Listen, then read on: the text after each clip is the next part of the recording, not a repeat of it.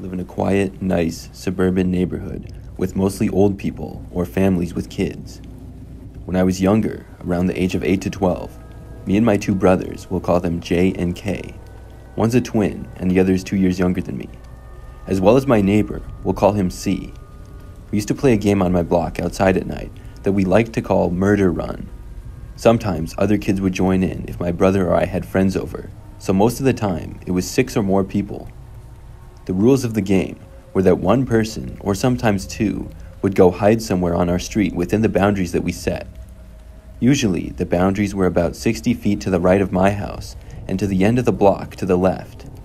There were no rules on where you could hide, so sometimes someone would be behind a tree or other times behind a car. The hiders would be called the murderers. Our house was in the middle of the two boundaries, so you could go two ways. The rest of the group, who we would call runners or the victims. While the murderers were running to hide, the rest of us would sit on the front steps of my house, close our eyes, and we would count to one minute. After the minute had passed, we would open our eyes and decide which way we wanted to go. Usually, the group would split up. One section goes right, and the other goes left. The groups would pretty much just walk in the direction towards the boundaries, looking for shadows or under cars to see if we could see the murderer. Eventually, when the murderer would see us, hopefully when we couldn't see them, they would jump out from wherever they were hiding and chase us back to the house. If the murderers caught you before you touched the front steps, you had to play the murderer in the next round. The murderer carried a small wooden sword that they would tag you with. It didn't mean anything in the game, but it added to the fun. This comes into play later. One time, it was me, my two brothers, his one friend who we will call H, and our neighbor playing, so overall it was five of us. I think it was about 8:30 or 9 p.m and it was September, so it was starting to get cold and dark earlier in the day. We had already been playing a few rounds, and we were starting to get tired, so we decided to play one more round and then call it a day. This time, it was C who had to be the murderer, since he hadn't had a chance yet. So we gave him the wooden knife, and we turned around and started counting. Once we finished counting, we decided who would go what way. My brother J was the fastest and wanted to be cool, so he said he would go alone but his friend H wanted to go with him. They were both fairly fast, so I knew that they would win the round if C was on that side. So off we went. Me and K went right, and J and H went left. I can't even describe how much adrenaline you felt, even when you knew you couldn't get hurt. That's why I love this game so much. As we were walking, I saw a small shadow from behind a thick tree, with C's hair obviously showing beneath the streetlight. Just as I was about to say that I saw him, I heard H and J scream from the other end of the boundary. Someone was chasing them too. They were both running and laughing, but I was not laughing. There were two possibilities here. Either the person behind the tree, not even five feet in front of me, wasn't C, or the person currently chasing my brother and his friend wasn't C. But I heard something behind me and turned around, and C was standing there asking why they were running.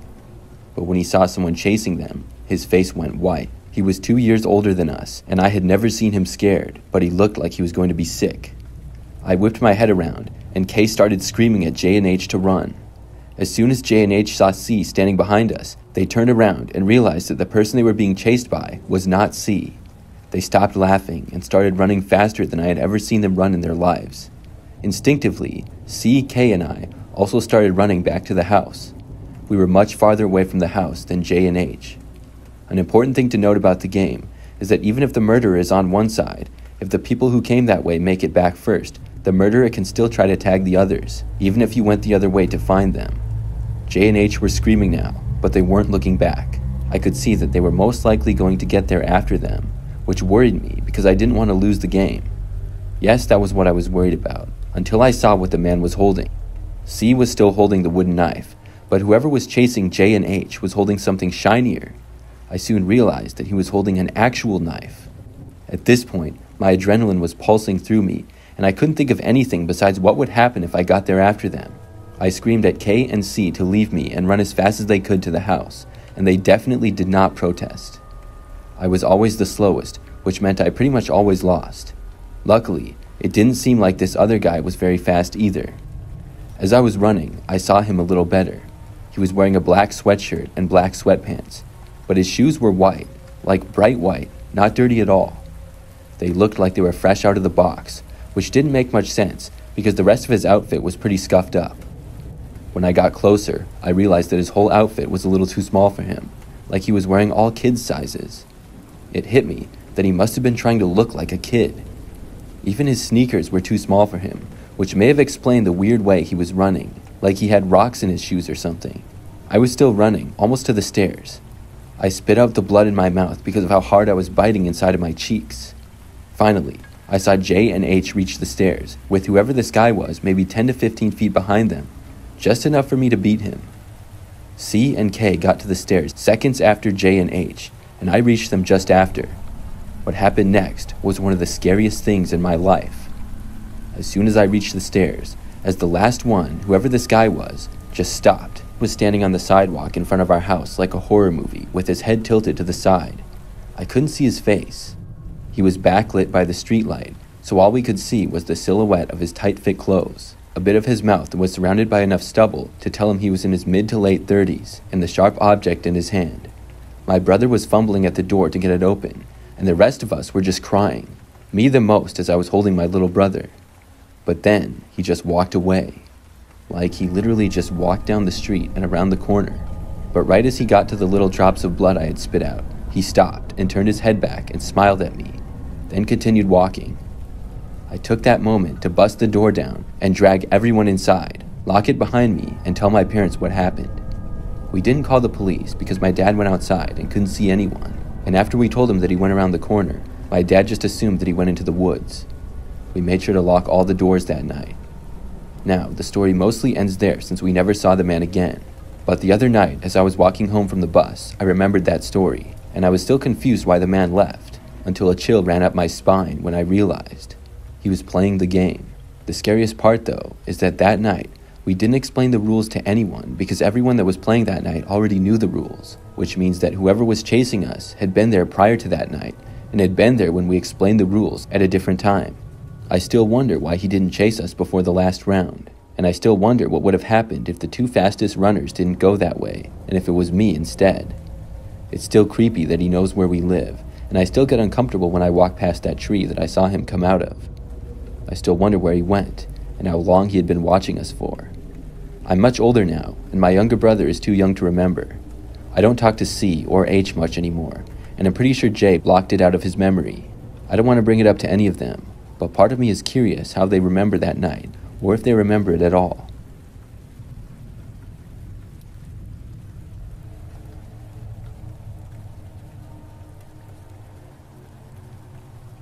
I'm a female, and this is something that happened when I was 14 years old. I went on a lot of bike rides around the neighborhood that I lived in. When I did, I would often see an older man walking his dog around a certain area. Normally, I would just ride past him. One day, though, I was going a bit slower when I was passing by the man and his dog. I was looking at the dog, and I said that the dog was beautiful. Then I passed them and kept going. About 30 minutes later or so, I was on my way back home and I passed by the man's house again. He was outside with his dog still and stood in the road looking at me.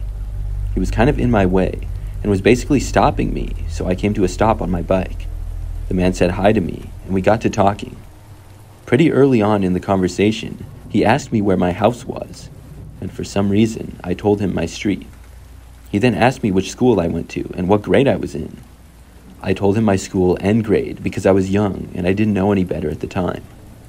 The houses in this area had a little bit of land. Behind the man's house, in his backyard, there was a large woods. The man then told me that the wooded area behind his house led to a mall. Spoiler alert, there's no mall in that direction, and I knew that. That's when red flags started to raise in my head. I told the man that my mom really wanted me back home, and I started heading back to my bike. The man didn't stop me, and I was able to get back to my house. When I got home, I told my parents about it. A couple of weeks later, I got some chilling news. Apparently, my mom was talking to her friend about what had happened. Her friend said that the man was on one of those sex offender websites. So my mom, being who she is, saw the man outside when she was on a walk once. She confronted him and asked him if he told me that there was a mall behind her house. Then she told him that he had better not talk to me ever again. My mom said that the man was just kind of shocked and didn't even deny anything. To me, that's horrifying. I stayed away from him and his house after that.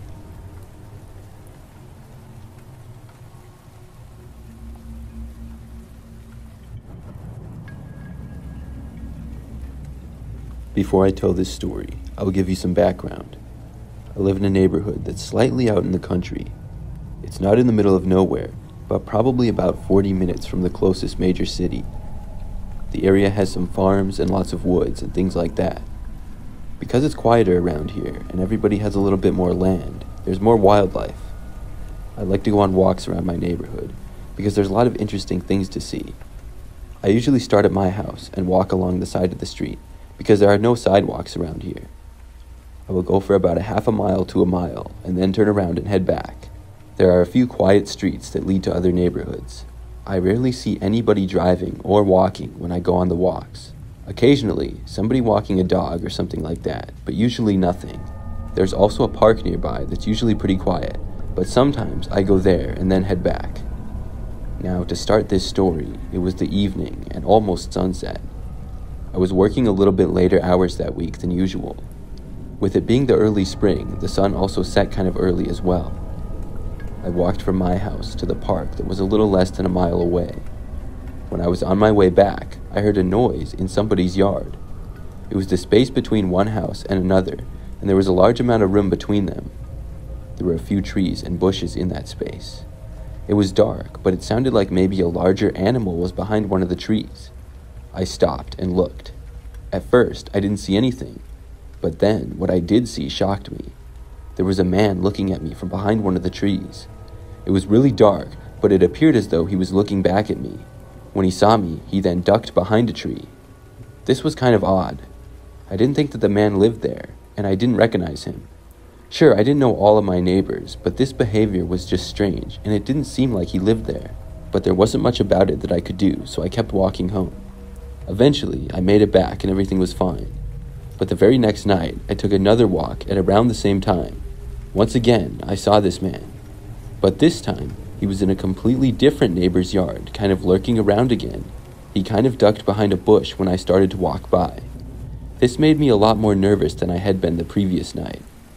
I didn't even really bother to look over and just kept on walking home.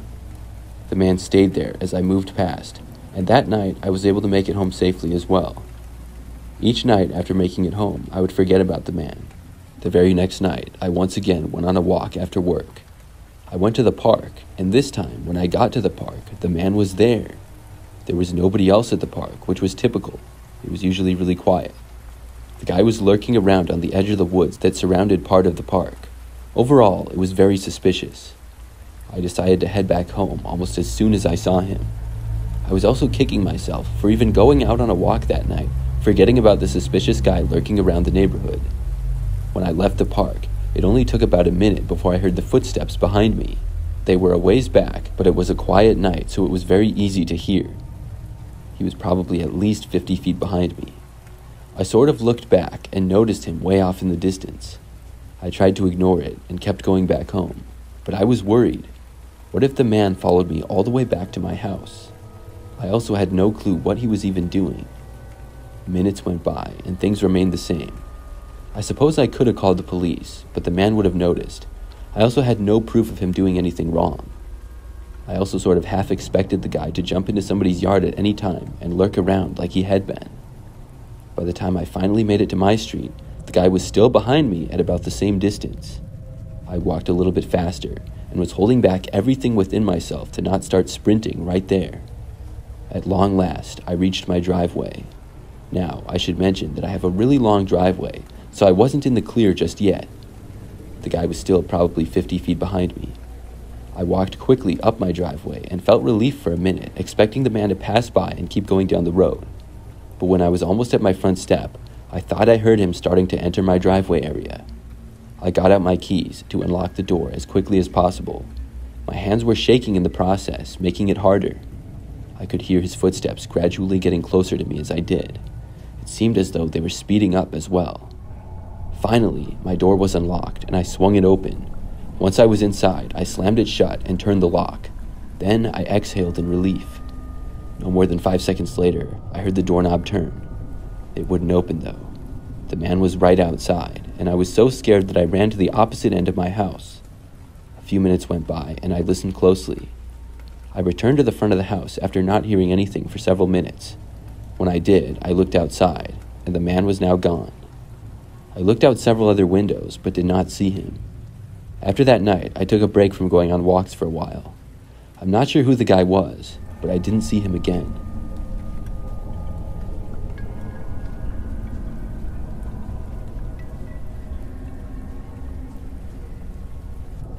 This is a true story. It happened to my family, and it involved my firstborn son, who was just a couple of months away from his eighth birthday. He was in second grade at the time. We were living in Tacoma, Washington back then, and I must admit that it's forever changed my life, especially in my role as a mother. It's been 27 years since this occurred, but it still haunts me to this day. A little backstory to put these events into perspective. January of 1995 was a traumatic month for our family. My son, up to this point, had been walking to and from his bus stop. The bus stop was a block and a half away from our house. The walk was a small, hilly walk, down to it in the morning and up in the afternoons. During that month of January, an elderly man from the Korean grocery store across the street was brutally murdered. I could see the shop from our bathroom window, and we also survived our first earthquake so you can see that this was a traumatic month from the start. My son was used to traversing the alleyway that ran between the back of the houses on our street and the back of the houses on the next street. We were so used to this that it had become commonplace, and there was not a worry in the world as to our son's safety until that fateful day in January of 1995. As usual, our day had started in the typical fashion. I arose at 6 a.m. in the morning to begin preparing our children for school. Our second oldest was the first to leave because he was in special ed and had to be bused across the city to the west side of Tacoma. Then our oldest son left the house, as usual. We kissed goodbye, and I watched as he walked through the small housing complex we lived in and out the gate and started down the alleyway. Now, my next oldest son, who was only four at the time, was ready to go off to preschool, while my youngest son, at the tender age of three, was still at home with mommy. After I got son number three off to school, then it was a typical day for myself, my husband, and our youngest. We lived in a small complex with four small houses, each one with a fenced yard and then another gate that enclosed the small complex. At the time of this incident, my husband and I were managing the property for our landlord, and so we had recently rented out the house next door to us. The tenant was a sweet old black lady with a head full of gray hair and just as nice as can be. She would be a delight to live next to and key to what happened this particular afternoon. Now, I'm not going to go into detail of my daily routine, as that's all irrelevant. What happens next will start in the afternoon, at the usual time that I knew my oldest son would be coming home from school. I was busy in the house, tending to the household chores, when I heard a frantic knocking at my front door. I opened it and saw through the screen door that it was my next door neighbor. I don't remember her name now, although I'll never forget her heroic actions that day. I asked her what was wrong, because she had a panicked look on her face and she was yelling at me, saying that someone was trying to kidnap my son. She had stepped outside and seen what was happening, and then ran to us. I screamed for my husband, and we ran out the front door, and to my horror, a man in a white sedan was trying to grab our son and pull him into the vehicle. I was screaming and going ballistic, while my husband started running towards the car, screaming, Get your hands off my son, I'm going to kill you. And I was screaming, Kill him, hun. We were both staring in horror while our son tried to get away and then the man kept moving the car up a bit and opening his door to try to block our son. Our son's back was now against the fence that surrounded the complex we lived in. At one point, he actually had his hand on our son's arm and was about to pull him into the car when the neighbors heard the commotion and jumped into action. At this point, our neighbors who lived across the alley and were drinking buddies of my husband heard the commotion, and both of them, two brothers, leapt over the six foot fence sprinted around to the front of the perp's car, and then one brother, out of respect for their privacy, I'm not giving their names, swept up our son into his arms and hurriedly brought him back to me and said, Here, Mom. In the meantime, the man just sat there, stone silent in his car, not moving at all. I stared into his eyes, and I can tell you one thing. I had never seen such dark, soulless eyes as I did when I stared into that man's black eyes. I shivered because it was like I was looking into the very eyes of utter darkness, the devil himself.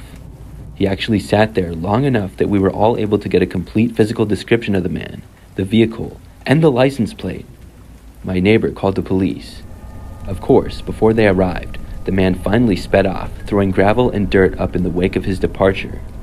I still shudder to this day when I think of what would have happened if my neighbors across the alley hadn't come to our defense. That perp would likely have gotten our son into the car, and we would have never seen him again. One other thing that upset me is right before the man left, he pulled out a Polaroid camera and rapidly took a couple of shots of our son. That really creeped me out so much. The police arrived soon thereafter, or should I say, one police officer, who looked like he couldn't have been more than 25 or 26 years old. Definitely late 20s, and at the time, I was only in my early 30s, so not much younger than myself. He definitely looked as though he had just come out of the police academy. My advice to all police don't send a rookie out to investigate child abduction cases or near abduction cases. That young officer eyed me skeptically and just said that I was a hysterical mom. I couldn't believe it. Of course, I'm going to be hysterical. Someone just tried to abduct our son. I'm sorry, but that should have been handled by a seasoned detective. This scarred me for life, and for a long time, almost three years, I wouldn't let our son out of my sight and made him hold my hand everywhere we went and obviously, I went to extremes to protect my other children as well. Of course, he grew up and became irritated with my overprotectiveness, as I wouldn't let him out of my sight. He was almost ten and a half years old before he finally got out of the house and away from me, and that was because of his dad. He'd finally been allowed to leave the house and ride his bike down to the corner store. At this time, we were no longer living in the house where the near abduction attempt occurred. As I conclude this, our son is now 35 years old, happily married, and is a successful auto mechanic with his own shop and business. We no longer live in Washington State, but have moved to another state. God bless all of you and take care. It's a dangerous world out there.